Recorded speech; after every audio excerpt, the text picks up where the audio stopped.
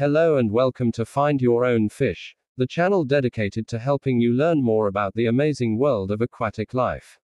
Today we're going to be talking about one of the most colorful and fascinating species of fish around, the guppy. Guppies are small, tropical fish that are often kept as pets in aquariums. They are known for the bright colors and playful personalities, and they are relatively easy to care for, which makes them a popular choice for beginner aquarists. The guppy, also known as the rainbow fish or millionfish, is native to South America, but it has been introduced to many other parts of the world, including Asia, Africa, and North America. They are small, typically only growing to about 1 to 2 inches in length, and they come in a variety of colors and patterns, including orange, yellow, blue, green, and black. Guppies are omnivorous, which means that they eat both plant and animal matter. In the wild, they feed on a variety of foods, including algae, small insects, and invertebrates. In captivity, they can be fed a diet of commercial fish food, such as flakes or pellets, as well as live or frozen foods, such as brine shrimp or bloodworms. One interesting thing about guppies is that they are live bearers, which means that they give birth to live young instead of laying eggs. Female guppies can give birth to dozens of fry at once, and the fry are immediately able to swim and fend for themselves. This is one reason why guppies are such a popular choice for breeding in aquariums.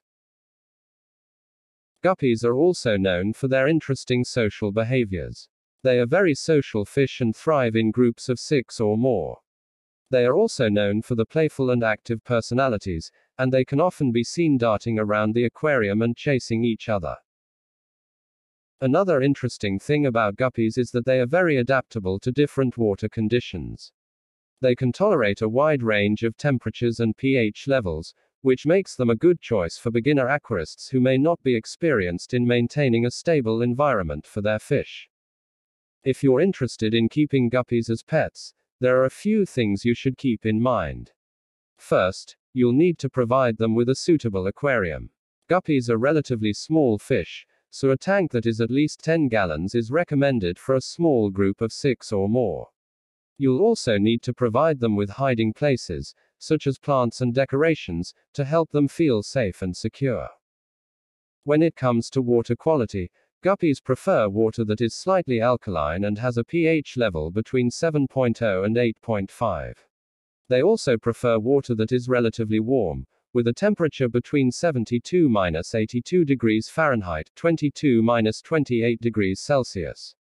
Make sure to use a good quality water conditioner to remove chlorine and other harmful chemicals from the water. Guppies are peaceful fish and can be kept with other non-aggressive fish. Some good tank mates for guppies include other small fish like neon tetras, mollies, and platies. Just be sure to avoid keeping them with aggressive or predatory fish, as they may harm or eat the guppies. One thing to keep in mind is that guppies can be prone to a few different health issues, including fin rot, swim bladder disease, and dropsy. To keep your guppies healthy, it's important to maintain good water quality, feed them a varied and balanced diet, and monitor them closely for any signs of illness. If you're interested in breeding guppies, there are a few things you should know. First, you'll need to set up a separate breeding tank, as adult guppies may eat their own fry. You'll also need to provide the female with plenty of hiding places, such as plants or a breeding box, where she can give birth to her fry. Once the fry are born, you'll need to provide them with plenty of small, nutritious foods, such as baby brine shrimp or crushed flake food. It's also important to keep the water clean and well maintained to ensure the health and growth of the fry.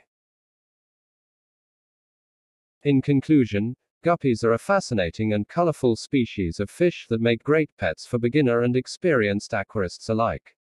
They are relatively easy to care for, but it's important to provide them with a suitable environment, monitor their health closely, and keep their population in check if breeding.